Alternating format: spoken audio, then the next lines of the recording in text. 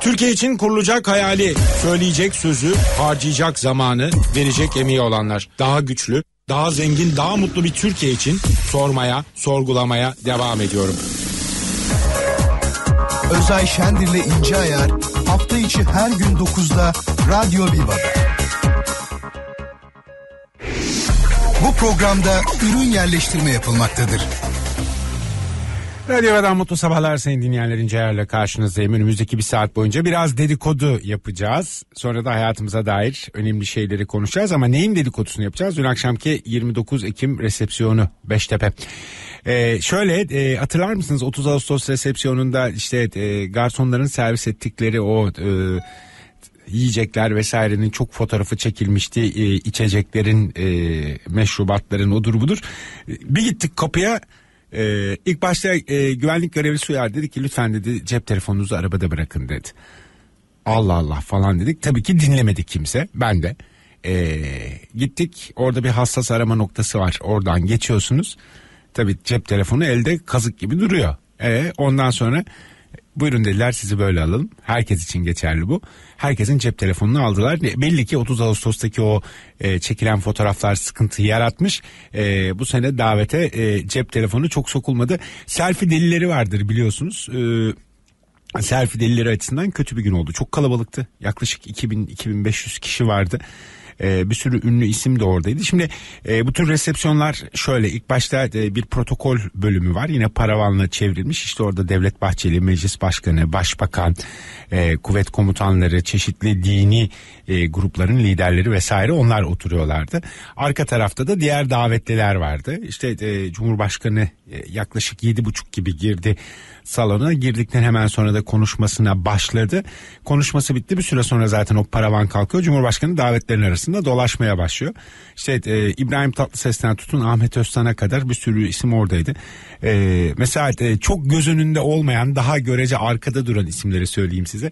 E, yok Başkanı Yekta Saraç e, oradaydı. MİT Müsteşarı e, Hakan Fidan oradaydı. E, bu arada e, bir bakandan e, şey aldım.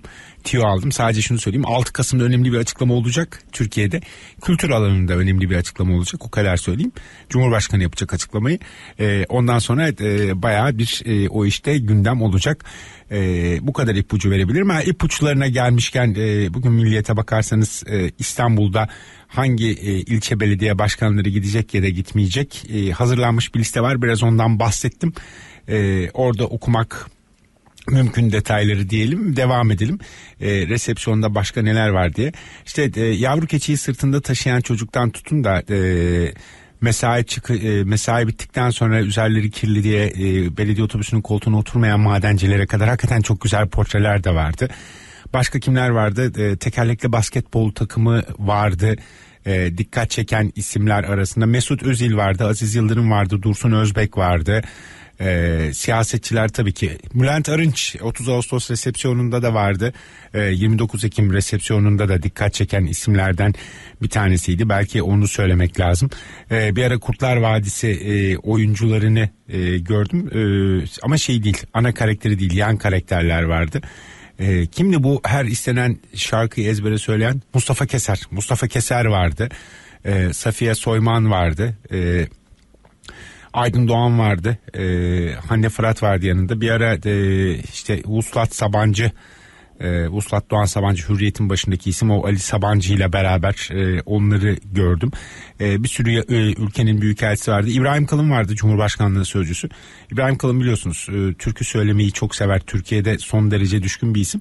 E, İbrahim Bey'le konuştuk. E, bugün tarihini netleştireceğiz. Gideceğiz bir Ankara'dan e, türküler, e, türkülerin tarihçesinden başlayarak e, yörelerine kadar e, öyle bir program yapacağız. E, belki o bilgiyi aktarmakta fayda var. Elbette e, medyadan isimler vardı. Onu beraberinde söyleyebiliriz.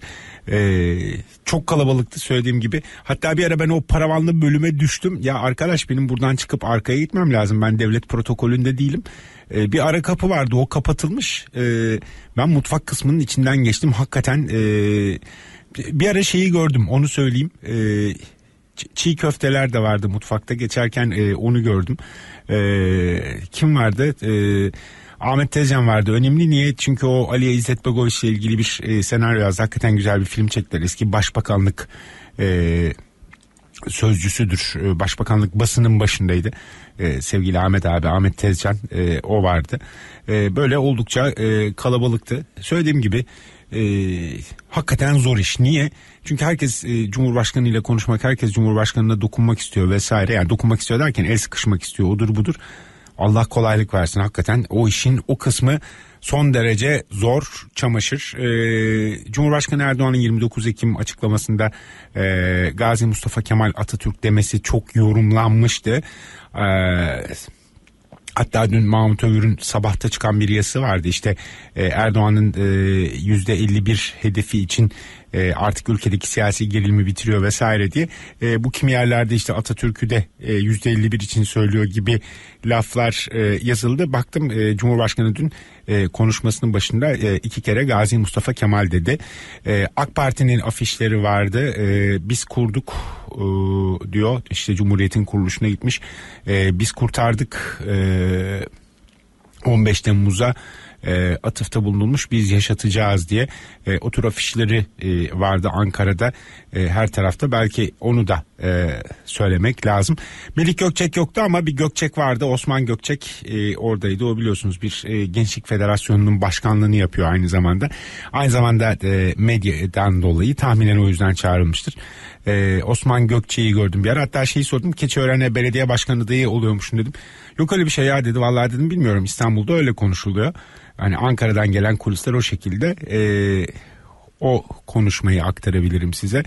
Başka niye aktarabilirim? E, gecenin en neşelisi e, Yekta Saraçlı ama gelip mesela e, Yekta Hacı'ya bak e, bu yaptığın sistem e, en çok CHP'nin işine yarayacak falan diye söylenen e, AK Partili yazarlar gördüm. E, hadi o kadar dedikodu yapabilirim artık ayıp değil. Hani e, şahit olduğum konuşmalardan bir kısmıydı en azından e, onu beraberinde söyleyebilirim. E, böyle bir manzaraydı ama onun dışında başka önemli şeyler oldu. Ne oldu? Bir, Barzani referandumla e, bütün e, hamiliye soyunmuştu ya da bütün Kürtlerin tartışmasız lideri olacaktı. Dün görevini bırakmak zorunda kaldı. Şimdi yetkileri devredildi. Peki bu Türkiye için sevindirici bir şey midir? Şimdi referandumun sonuçlarının e, birazcık atıl kalması evet e, Türkiye'nin bu anlamda istediğini yaptırır ama esas e, görülmesi gereken şey şu.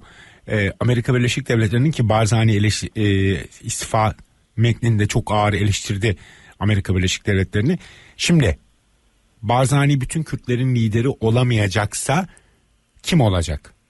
Yoksa Amerika şimdi e, Barzani'yi bu kadar etkisiz hale getirip bitirdikten sonra e, Kürt lider e, yeni bütün Kürtlerin lideri diye Suriye'deki en büyük destekçisi PKK'nın içinden bir isim mi çıkaracak? Şimdi soru bu. Barzani gitti ama yerine e, nasıl bir portre konulacak? Hakikaten ona bir e, bakmak gerekiyor. Dolayısıyla e, bu işin en sıkıntılı taraflarından bir tanesi. Başka ne var diyeceksiniz? Şimdi e, şu iki tane olay var. Daha doğrusu bir olayın içinde iki tane halka var. E, nedense e, doğru yerden bakamadık biz konuya. Şimdi biliyorsunuz e, bir kadıncağız arabasının içerisinde öldürüldü cumartesi sabah.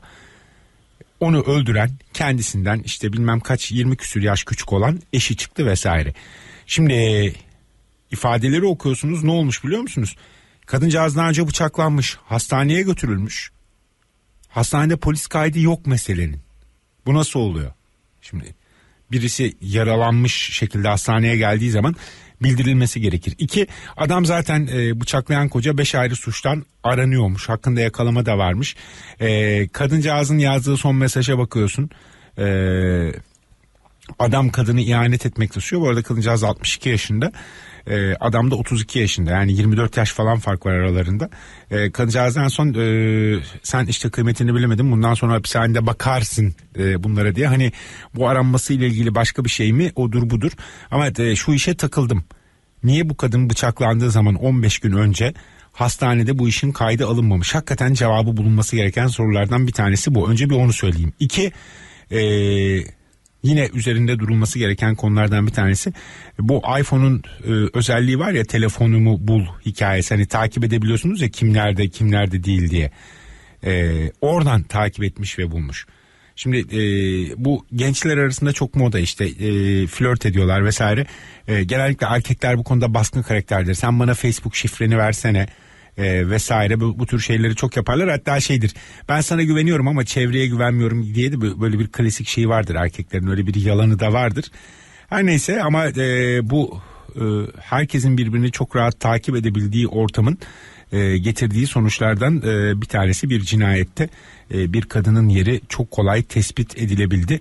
E, bu da önemli gelişmelerden bir tanesi. Şimdi e, Türkiye'de yaz saatiyle ilgili çok tartışma vardı. Bu arada Avrupa Birliği Komisyonu da bir açıklama yaptı. Onlar da yaz saati işinden vazgeçecekler galiba. Göreceğiz bakalım ne olacak. Fatih'te bir fuhuş operasyonu yapıldı dün gece. 38 gözaltı var. İstanbul'da e, hava şartlarından dolayı e, deniz ulaşımı aksıyor. E, onu söyleyelim. Bu arada e, dün Ankara İstanbul yolu gece inanılır gibi değildi.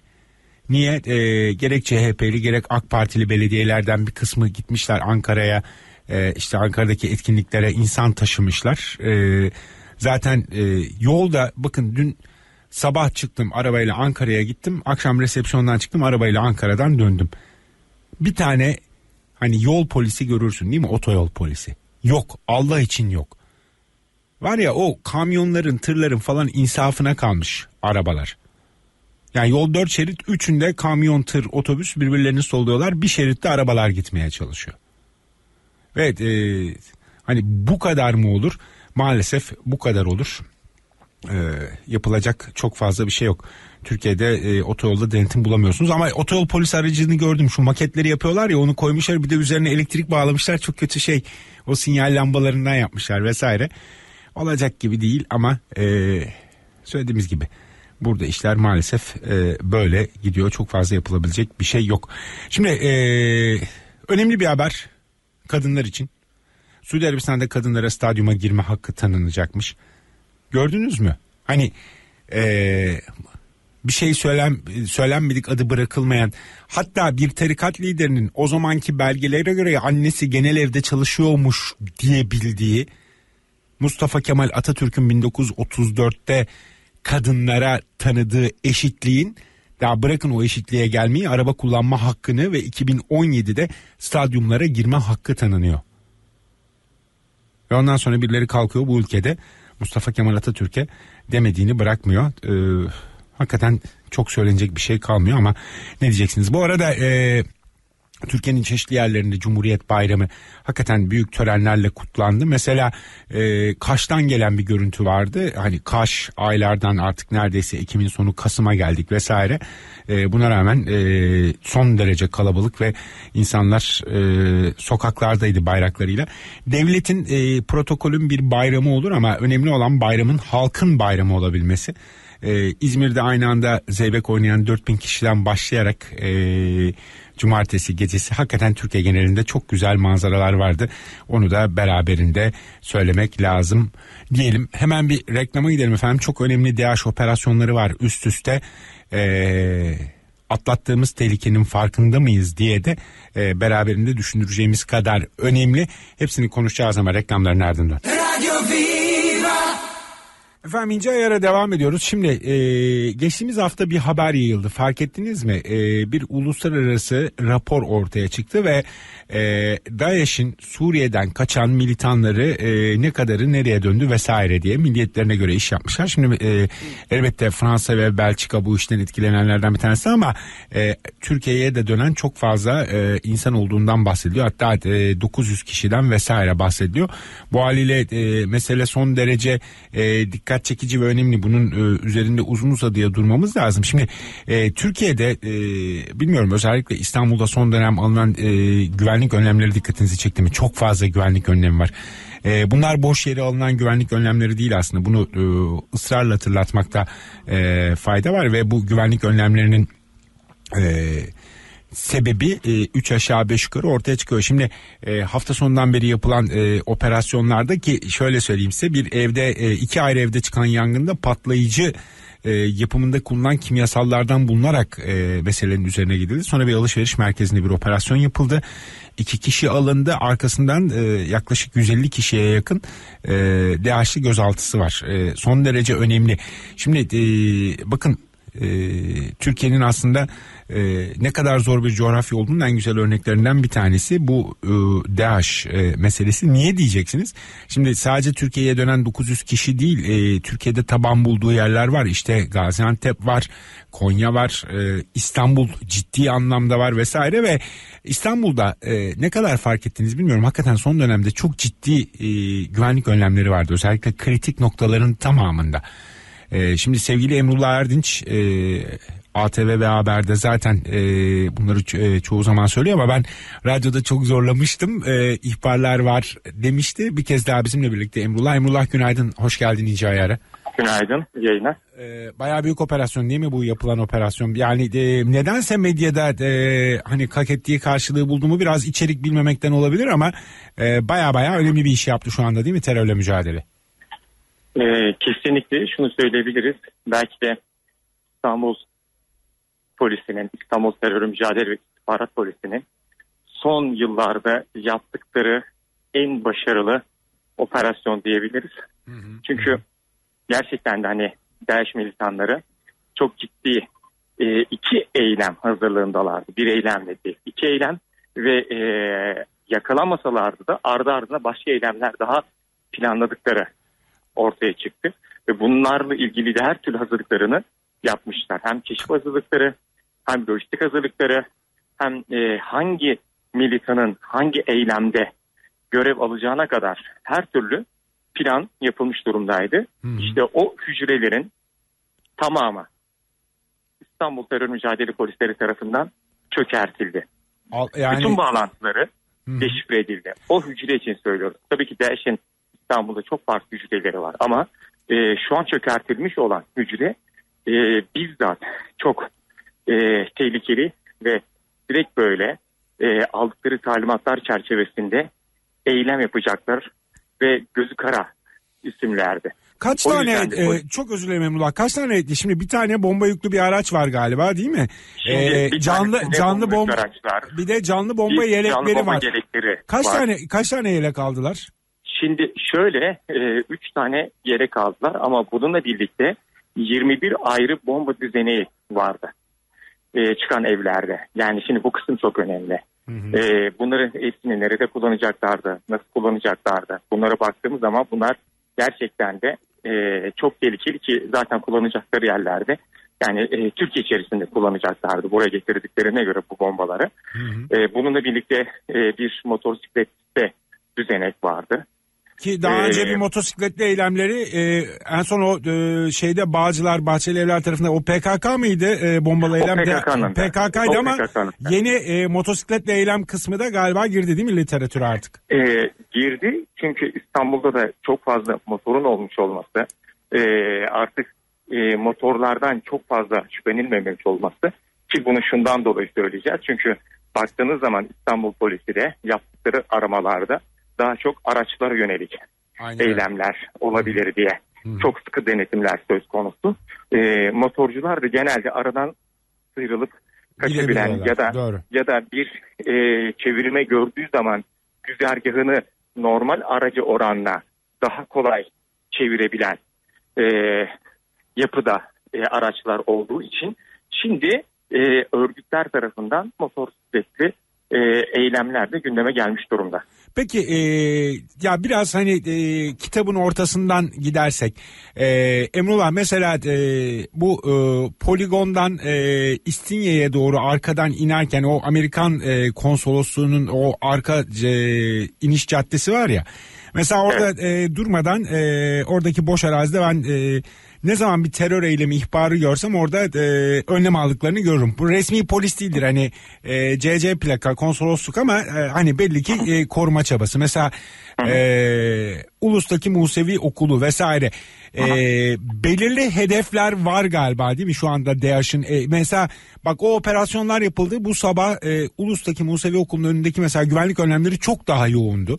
E, anladığım kadarıyla misilleme tarzı işlerden de korkuluyor bir süre daha gidecek galiba değil mi bu yoğun güvenlik önlemleri? Şimdi bu yoğun güvenlik önlemleri uzun bir süre daha gidecek. O da Türkiye'nin bulunduğu biliyorsunuz ki coğrafik yapıdan e, kaynaklanan bir durum. E, doğal olarak terör örgütlerinin özellikle sağ e, terör örgütlerinin ilk hedefinde e, Yahudi ya da yabancı kuruluşlara ait e, yerler bulunuyor. Okullar olsun, dini yapılar olsun. Aynen E, öyle. bunlar birinci hedefler halinde. Ama e, şu şunu da unutmamak gerekiyor.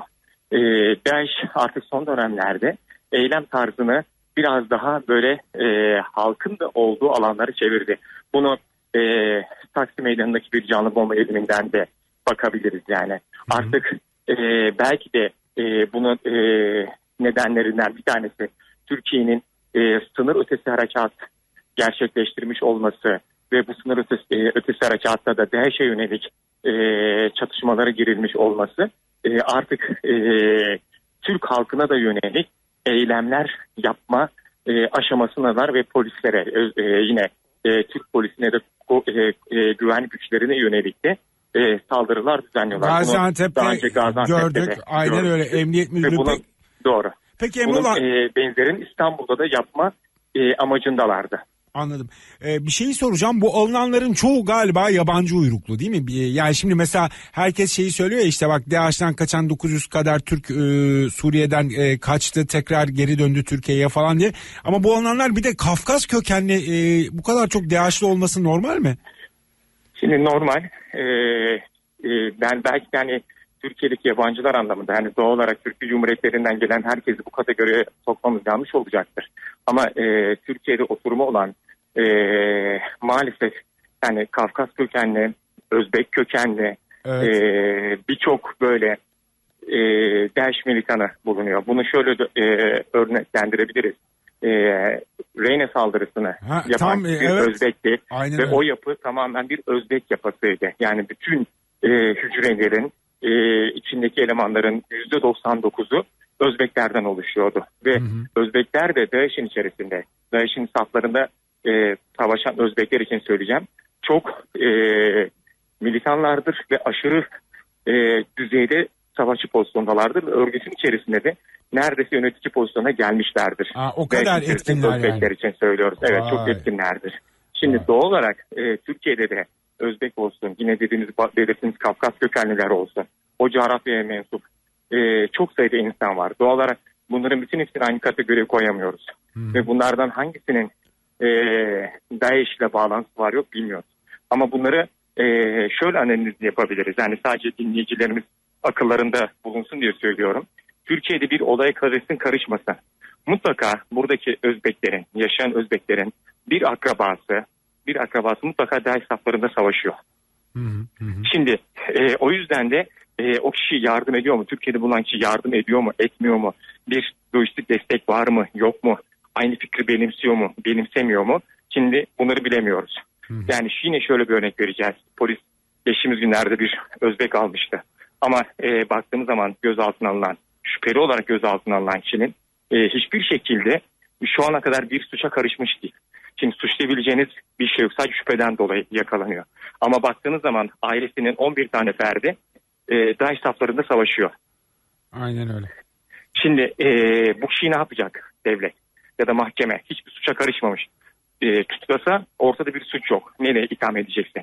E, tutuklamasa e, bir kafada bir şüphe var. 11 tane akrabası, birinci dereceden akrabası DAEŞ'in saflarında savaşıyor. İşte Hı hı. baktığımız zaman işin içinden çıkılmadığı, çıkamadığımız belki de noktalardan bir tanesi.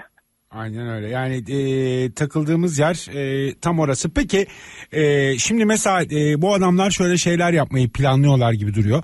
Bir Rusya e, değil mi? E, şampiyona futbol. E, Hatta e, Neymar'ın, Messi'nin falan fotoğraflarını da paylaşıyorlar. Dünya şampiyonası ile ilgili e, vesaire bir sürü şey yapıyorlar. 2018 için. E, Türkiye'de futbol e, biz bir e, Galatasaray Fenerbahçe derbisi ertelemiştik. Ciddi bir tehditti galiba o değil mi e, Emrullah geçen sene? Yani şöyle yani ciddi bir e, ihbar demekten daha ziyade şöyle bir durum söz konusuydu.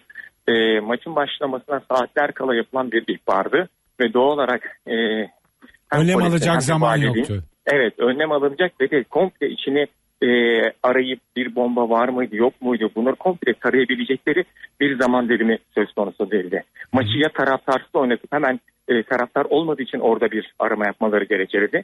Ama hani tam arayamayıp maç başlasa o esnada bu da sıkıntı olabilirdi. O yüzden de e, alınan e, o dönemki güvenlik kurulu çerçevesinde maçın iptal edilmesine karar verilmişti. Şimdi bu e, ihbar e, bakıldığında, araştırıldığında yurt dışından gelmiş bir ihbardı. Yani Türkiye menşeli bir ihbar değildi. Yurt dışından yapılmış bir ihbar, emniyete gelen bir ihbardı. Doğal olarak hani bu ne kadar doğruydu? Çünkü yurt dışından yapılmış olması da hani sanki e, Türkiye'de hani e, kalkık vurdurma sokmak anlamına da gelebiliyor. Çünkü buradaki o ihbarda takip edemiyorsunuz. İhbarcının ne kadar doğru söylediğini, kime mensup olduğunu, e, bir terör örgütü mensubu mu, e, polisleri yormak amaçlı mı, böyle bir şey yaptı ya da Türkiye'yi e, dünya kamuoyunda kötü göstermek amaçlı mı? Bunların hiçbirini bilmiyoruz. Aynen Çünkü öyle. yurt dışına yapılan bir ihbardı. Ama hani e, o zamanki koşullarda bakıldığında e, şüpheli bir durum olsa yani yüzde birlik bile bir şüphe olmuş olsa e, doğal olarak insan hayatı daha önemli olduğu için maçın iptal edilmesi bence de doğru bir karardı. E, Ama yani e, o da e, dikkatlerden kaçan bir yer değil. E, Kesinlikle. peki e, alışveriş merkezleri diyeceğim. Alışveriş merkezlerinde hala polislerin e, yoğun güvenlik önlemleri var. Burada e, şunu söyleyeceğiz. Alışveriş merkezleri tabii ki bir hedef halinde. Yani artık e, terör örgütünün hani gözü döndükten sonra yani e, her yerde e, eylem yapabilir. Hani bunu hiç kimse e, bu anlamda e, bize yapmaz diye düşünmüyor. E, burada sadece şu var polis e, özel güvenlik yani alışveriş merkezlerinin bulunmuş olduğu özel güvenlikçileri de çok sıkı bir şekilde onları da denetliyor, onları da eğitiyor, onlara da şüpheli durumları bildiriliyor. Özellikle araçlar konusunda çok Ha, onu onu çünkü- söyleyeceğim şimdi. Ya bak e, bende şöyle bir duygu var Emrullah. Aracın bagajını açıyorsun, bakıyorlar abi. Aracın içine e, dönüp kimse bakmıyor. Yani ben e, özellikle o araç aramalarının hani böyle çok tırt şekilde yapıldığını düşünüyorum. Hani e, biraz amiyane bir tabir ama e, bilmiyorum yanlış mı düşünüyorum ne dersin? Yok, aslında hani böyle baktığınız zaman hani e, doğru düşünüyorsunuz. Çünkü şu şekilde düşünüyorlar. Eğer e, aracın içinde eğer ki bir düzenek varsa bu mümkün olduğu kadarıyla şeydir. E, bagaja koymuşlardır diye bakılıyor. Ha, yani daha çok o yüzden bagaja bakıyorlar ama e, bir de şu var. E, aracın iç kısmı yani daha doğrusu e, bagaj değil de e, Arka koltuk kısmına e, eğer ki bir düzenek yapılmış olsa onun e, etkisi bagajı oranla biraz daha düşük olacak. Ha. Ee, hani e, o yüzden de daha çok e, Anladım. A- hani a- ba- bagaj ya ba- ba- kasa, ba- bagaj ya kısmına bakalım. da bagaja kullanmanız gerekiyor. Çünkü etkisini daha yüksek seviyeye çıkartabilmesi için Anladım. bunu. anladım, Eğer anladım. açık alanda tuttuğu zaman şiddeti azalıyor. Yani o zaman da hani e, yani Basınç yani, etkisi için e, bagajda evet, olması bas- gerekiyor. Evet e, bagajda olması gerekiyor. O yüzden daha çok hep böyle bagaj kontrol edilir. Anladım. Birinci sıra bagajdır. Anladım. Peki e, şimdi e, alışveriş merkezleri vesaire dedik. Bak ben en çok korktuğum e, yerlerden bir tanesini söyleyeyim sana. E, metrobüs. Yani e, inanılmaz insan kalabalığı e, doğru düzgün e, arama yapılarak geçmenin e, imkanı da yok. O kalabalıkta zaten kaç kişiyi arayacaksın? Zaten insanlar canı burnunda eve veya işe gitmeye çalışıyor. Mesela e, hani eşeğin aklına karpuz kabuğu düşürmeyeyim ama e, herhalde oraların e, önlemleri alınıyordur değil mi ayrıyeten? Yani metrobüs duraklarında orada burada e, sivil asayiş veya terörle mücadele var mı? Var. Var. Belli başlı ya- e, duraklarda var. Tabii bu bütün e, maalesef bütün durakları kapsayamıyor. Yani bütün durakları kapsayacak bir şekilde e, yani bir önlem alınamıyor. O zaman hani İstanbul'da yeteri kadar e, şu an bile zaten polis sıkıntısı varken e, öteki türlü onu kaldırabilecek bir e, polis maalesef söz konusu değil. E, o yüzden de e, mümkün olduğu kadarıyla belli başlı noktalarda ya da e, ara ara e, bazı metrobüslerin içerisine polisler konuluyor. E, onlar böyle bir yolculuk yapıyorlar. Ya da onun dışında e, birçok e, böyle e, ana harterlerde, ana e, yoğunluğun olduğu duraklarda e, mutlaka şey bulunduruluyor. E, istihbarat polisi, terör mücadele polisi bul- bulunduruluyor. E, onlar da e, bir e, yani göz taramasından özellikle de hani e, eşgal var kendi ellerinde hani kimler yapabilirse onun dışında da aldıkları eğitimler çerçevesinde e, şüpheli analizleri yapılıyor. Hani kim ne yapabilir diye.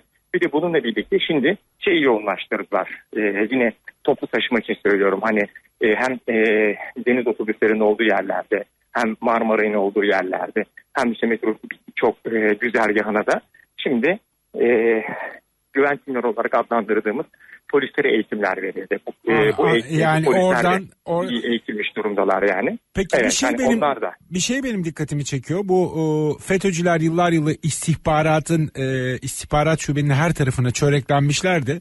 E, anladığım kadarıyla e, son operasyonlardan ve hani bir operasyondan üst üste bütün Türkiye geneline yayıldı. E, istihbarat meselesi düzelmiş, istihbarat şube normal haline gelmiş diyebilir miyim şu anda? Ee, şöyle tam değil. Yani daha düzelmesi gerekecek noktalar var. Ama hani şunu söyleyebiliriz ki e, maalesef ki e, o 17-25 Aralık itibariyle e, Fethullahçı polislere hakim e, olması orasının ardından da e, bir e, darbe girişimini yaşamamış olmamız evet emniyetin iç yapısını çok böyle dağıtmıştı. Ama e, son e, böyle 3-4 aydır bilemedim 6 aydır e, gerçekten de e, polis kendisini e, tekrardan artık e, bir update etti, yeniledi diyelim. E, ve bu yenilemeyle birlikte artık yavaş yavaş sistemine oturuyor. İstanbul e, istihbaratta olsun, diğer birimlerde olsun yavaş yavaş sistemine oturuyor. İşte e, bu ivme her geçen gün biraz daha artacak polis anlamında da. Çünkü daha kaliteli polisler, daha işi bilen polisler, daha tecrübe kazanmış bir e, polis yapısı yavaş yavaş oluşuyor. Ve bu oluşmayla da birlikte biz bunu İstanbul'un güvenliği ya da Türkiye'nin güvenliği anlamında da göreceğiz yani. Ya bu, e, bu dikkat çekici e, nokta diyelim. Peki e, bir şey daha söyleyeyim biraz kesilmekle beraber. İşte yok sigorta şirketinden gelmiş şurada bomba patlayacak burada bomba patlayacak bir kez daha söyleyeyim onlar yine bir dolaşıma girecektir. E, hiçbir zaman böyle bir istihbarat böyle bir uyarı ne bir sigorta şirketi ne bilmem ne konsolosluğunda olmaz değil mi e, Emrullah? Kesinlikle öyle bir şey söz konusu değil. Ee, ne e, emniyet böyle bir şey gönderir e, ne bir sigorta şirketi ya da herhangi bir yerden böyle bir şey e, gelmesi e, söz konusu dahi değildir. Çünkü e, yani şunu gerçekten söyleyebiliriz ki e, polis zaten öyle bir istihbari bir bilgi geldiğinde e, Zaten operasyonlarla vatandaşı- kesmeye vatandaşı- çalışıyor. Aynen öyle. Vatandaşı uyarmaktan daha ziyade işte dışarı çıkmayın, sokağa çıkmayın, oraya gitmeyin, buraya gitmeyin demek yerine o kişileri takip eder. Aynen yani öyle. o kişileri eylemine e, geçmeden önce yakalamaya çalışacaktır. Aynen, O yüzden de doğrusu doğrusu da bu zaten yaptığı şey bu Aynen. Yani, aynen. e, Bu tarz gelen bilgilerin hiçbiri de gerçeği yansımamaktadır. Anladım. Ee, tamam terörle ilgili son sorumu sordum ama şu e, göz altındaki o Amerika'nın irtibat ABD konsolosluğunun irtibat elemanı var ya hani telefon Aha. kırıldı ya e, telefonun içinden e, Reza Zarrab'la ilgili haberler galiba bir e, Amerikalı e, diplomatik e, kişiye yönlendirilmiş onu gördüm ama e, onun dışında e, henüz bilmediğimiz büyük sürprizler var mı Emrullah? Yani henüz- kibar kibar soruyorum en tehlikeli soruyu hayran oldum kendime şimdi. Şöyle e, yani hala t- telefon inceleniyor. T- Telefon e, çözüldü. Öncelikli olarak en büyük sıkıntı o telefonun çözül çözülemeyeceğiydi. Ve e, bu anlamda hani baktığınız zaman siber suçlar bu telefonun çözümünü yaptılar. İşte bu saatten sonrası araştırılacak ama ilk böyle bakılan noktası e, doğal olarak hani e, soruşturma ilgilendirdiği için Reza Zarrab'la ilgili yazışmaların çıkması bu doğal olarak hani po- polislerin hemen dikkatini çekti. E, İngilizce e, yazılmıştı. Reza Zarrab yakalandıktan sonra İngilizce e, bir konuşmaydı. Onun Türkçesine çevrildi.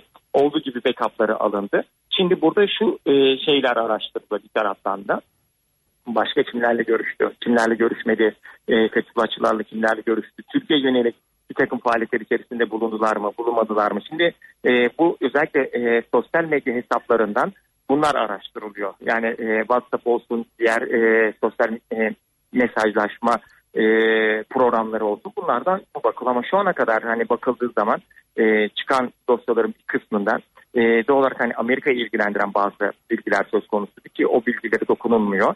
E, ardından da hani gelen bilgiler tam e, hani Reza Zarrab'la ilgili olan dosyalardı. Şimdi Reza Zarrab dosyası e, bir taraftan çıkartıldı. O yazışmaları falan çıkartıldı. Dosyaya konuldu. Ve e, şimdi de e, yine Fethullahçı polislerle aralarındaki irtibatı e, delillendirebilecek, farklı delillere e, ulaştırabilecek bilgiler araştırılıyor. Yaklaşık bunun da e, araştırması bir 15-20 günü daha olacak yani bitmesi. Çok dolayısıyla veri var çünkü o e, veriler tek tek incelendiği için bir 15-20 gün daha alacak. Amerikalılar da çok merak ediyorlardır Allah'ın emri bak ben sana söyleyeyim en çok onu merak ediyorlardır hatta. Ya Amerikalılar merak ediyor. Amerikalılar için hani e, biraz da merak etmesinin e, nedeni e, çok kritik bir isim olduğu için e, o başka ne çıkabilir? Hani e, belki de başka örgütlerle başka bir bağlantı falan çıkacaktır. Belki de bunun çıkmasına e, istemiyor olabilirler yani. O da e, o da hakikaten e, ilginç soruşturma diyelim. Emrullah çok vaktini aldım ama en azından e, İstanbullular olarak şöyle söylesem yanlış bir şey söylemem. Cuma gününe göre çok daha güvenli bir şehirde yaşıyoruz değil mi bu sabah? Yani Kesinlikle. çok büyük Kesinlikle. operasyon e, hakikaten de e, kutlamak lazım. E, çok iyi Kesinlikle. örüldü geldi. E, büyük bela atlattık diyelim. Emrullah çok çok teşekkürler sağ Kesinlikle. olasın. İyi yayınlar. Çok Hoşça sevgiler. Hoşçakal. Evet e, bazen detayları çok bilinmeyen e, medyada çok konuşulmayan haberler aslında son derece önemli haberlerdir. Bir kez daha söyleyeyim terörle mücadele e, hakikaten e, müthiş hızlı gittiler. E, bakın 3 tane hazır yelek 21 patlayıcı bir tane tam donanımlı araç ee, İstanbul'da biraz çevrenize dikkatle bakarsanız aslında e, görürsünüz. Ee, Birçok yerde hakikaten şu anda çok fazla önlem var. Ee, ve hani bu operasyon yapıldı önlemler kaldırılmamış hala devam ediyor bir çılgınlık e, gelmesin arkasından diye. E, ama altını kalın kalın çizerek söylüyorum. Cuma günkü İstanbul'a göre bu pazartesi çok daha güvenli bir şehirde yaşıyoruz. Hemen reklam devam edeceğiz. Efendim İnce Ayar'a devam ediyoruz. Şimdi bizim Radyo Viva'nın e, Cuma ve Pazartesi günleri hakikaten Alper e, kazanı kaynatıyor. Gayet de güzel oluyor ama e, dün akşamki maçı konuşmak lazım. Niye? Şimdi e, işin futbol kısmını e, hakem kısmı konuşulur. Beni o kısmı çok e, alakadar etmiyor doğrusunu isterseniz ama e, hani Tudor'un yeterliliği, oyuncu tercihleri, Gomis'i çıkartması falan Galatasaraylılar ateş püskürüyor. Bir sürü şey söyleniyor. Bu arada esas Trabzon son derece önemli. Niye Trabzon son derece önemli? Şimdi bu hafta içinde ne çıktı? Ya takım sondan dördüncü. E, çok iyi bir kadrosu var Trabzon'un ama borcu çok arttı. İşte e, bir sürü dedikodu çıktı. E, mesela Onur bana feda dediniz ama işte e, Sosa'ydı, oydu, buydu, Burak'tı. E, bu adamlar ne biçim para alıyorlar vesaire takım içinde sıkıntı var gibi haberler sızdırıldı. E, dün Trabzon bir sahaya çıktı. Vay arkadaş son dönemin e, gördüğümüz en iyi Trabzonlarından, en iyi Trabzonspor e, maçlarından bir tanesiydi. Şimdi e, Hamza Mısır sağ olsun bizi kırmaz. Kuzey Express gazetesi e, hem haber sorumlusu hem de eski hakem bildiğiniz gibi. Hamza Bey günaydın. E, önce kutlarım hakikaten e, hani sonuç değil futbol adına e, güzel bir geceydi herhalde Trabzon için değil mi? Günaydın aslında siz e, özeti yaptınız. E, Tabii Trabzonspor'da e, çok ciddi iş sıkıntılar vardı. E, böyle bir galibiyete ihtiyacı da vardı. E, dolayısıyla e, dün akşam hakikaten e, Trabzon yeniden uyandı. Yani taraftarın istediği kadro değil de taraftarın istediği Trabzonspor vardı sahada. Daha önce e, Ersun Yanal e, biraz e, yıldız oyuncuların etkisi altında kalarak biraz da taraftarın etkisi altında kalarak e, işte e, o formayı hak etmeyen, formsuz olan e, oyunculara daha çok e, şans veriyordu.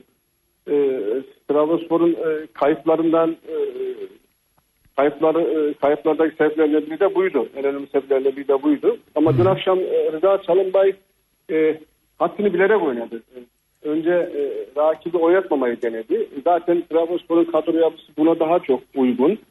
E, bunu yapınca e, rakibi oynatmayınca e, işte atabilirsem de kazanırım düşüncesiyle e, ortaya böyle bir Trabzonspor Valla e, benim şey dikkatimi çekti. Şimdi e, aslında e, Rıza Çalınbay da risk aldı. Yani şimdi e, baktığınız zaman e, bir iyi bir yedek kulübesi var aslında değil mi Trabzonspor'un? Yani bu kadar cezalıya 3. forvetiyle çıktı herhalde değil mi Trabzon dün akşam maça? E, Yani üçüncü forvet ama bu Damdoy, Endoy diyoruz buna. Yani Damdoy diyoruz. Ama bu oyuncu e, yani iyi bir oyuncu e, ama e, iyi çalışıyor. Antrenmanları hiç bırakmadı. İyi bir profesyonel. Ama e, ne hikmetse işte o şansı bulamadı. O şans ona verilmedi. E, O istikrarı sağlayamadı. Dolayısıyla e, kendini her zaman hazır tuttu. E, İşte e, son e, Çorum maçında sonradan geçici gol attı.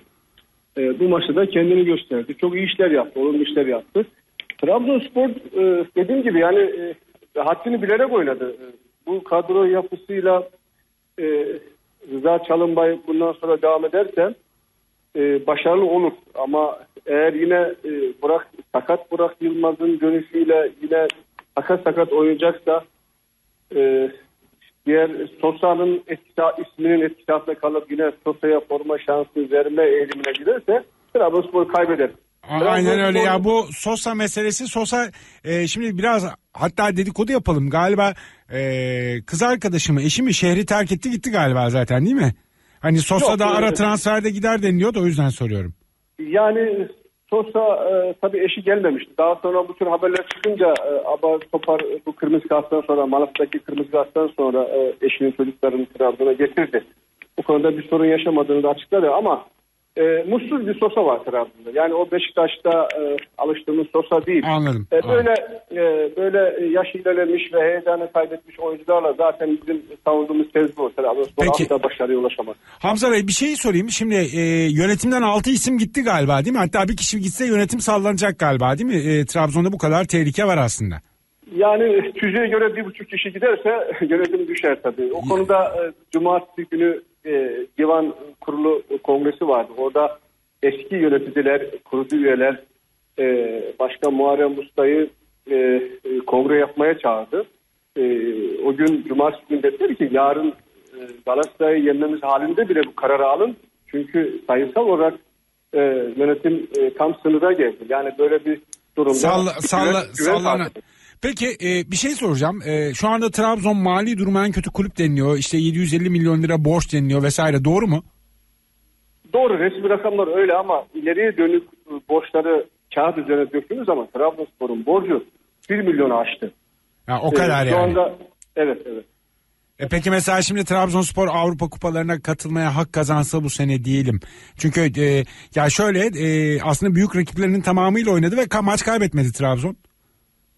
Yani bir bir de Yani- işin bö- böyle bir taraf var. Mesela o zaman e, UEFA'da yandı o zaman öyle mi? Ceza geldi gelebilir Trabzon öyle mi? Yani tabii Şerifli'ye göre e, Trabzonspor sınır da e, onu e, işte oyuncuları kiralayarak göstermeye çalışıyorlar. Bir şekilde yamatmaya çalışıyorlar. E, bir, e, bir şekilde götürmeye çalışıyorlar ama işin sonunda tehlike var. Anladım. Peki şey doğru mu? Ee, futbolcular arasında özellikle 3 futbolcunun e, maliyetinin e, takımda feda istenen diğer isimleri rahatsız ettiği vesaire. Bu arada e, artık Kaptan Onur'un da ben e, çok fazla hani e, oyunculuk olarak da eleştirilmeye başladığını gördüm. Yanlış mı e, gördüm? Yani e, tabii e, Onur Kurak e, feda ettiği zamanlar da ona e, yönetim, o günkü yönetim kurulu e, Trabzonspor kulübünde en yüksek rakam e, senin olacak diye bir söz vermişti. Bu vaatle beraber Onur Kurak indirime gitti ve e, sözleşme imzalanmıştı. E, ondan sonra tabii Burak Yılmaz'ın e, 3.3 milyon euroluk fiyatı, Sosa'nın ona yakın fiyatı gelince yani Onur Kıvrak'ta bir kalp kırıklığı oldu. Bu da performansına yansımadı değil. Yansıdı. Bundan önceki maçlara baktığımız zaman Trabzonspor yerlerde sürmüyordu.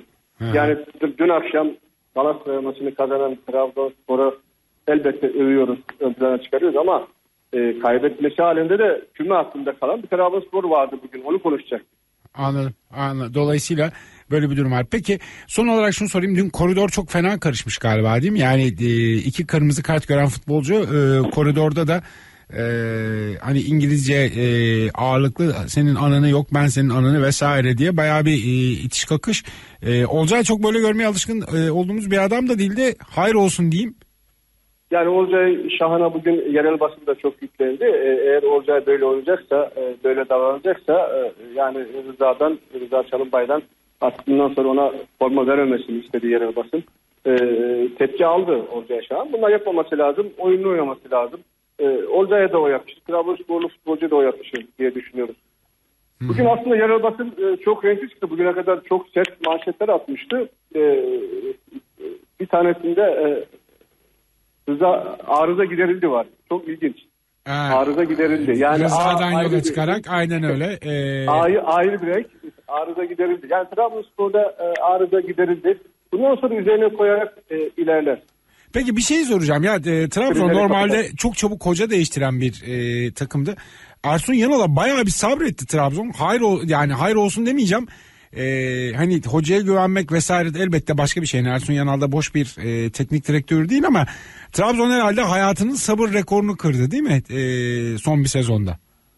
Tabii o sabrı aslında e, Başkan Muharrem Usta gösterdi. E, taraftar e, basın, e, eski yöneticiler, e, camia Ersun Yanal'a karşıydı. Zaten ikinci kez geldi.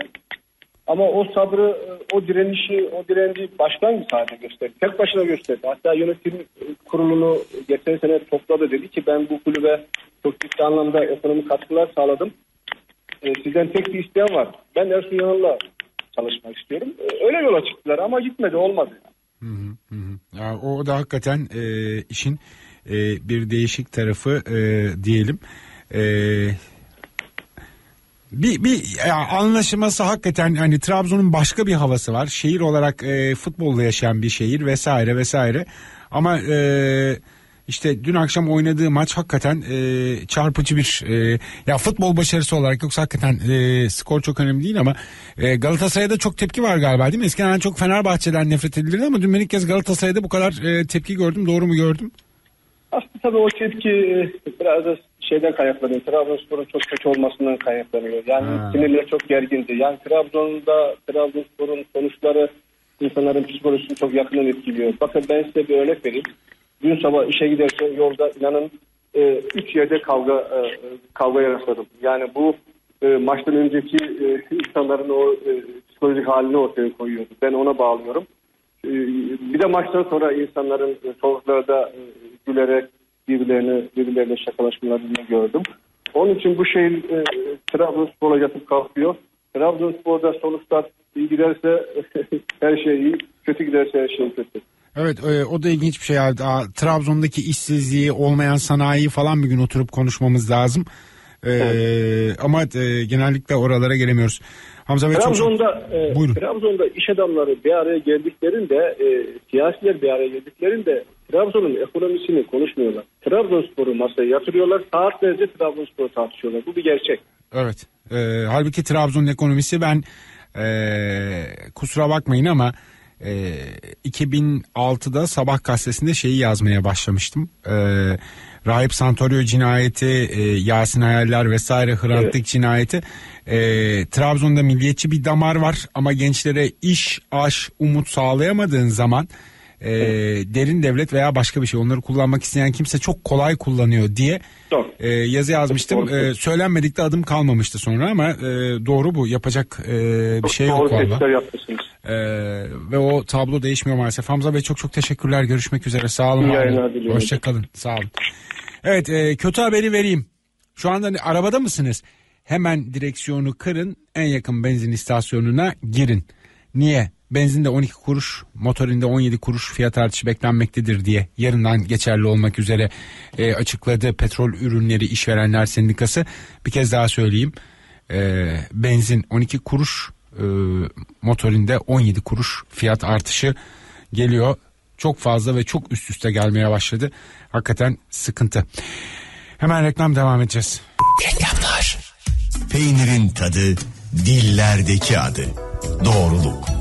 Doğal, sağlıklı lezzet. Migros, Makro Center ve Beşen Migros mağazalarında satılmaktadır. Reklamlar.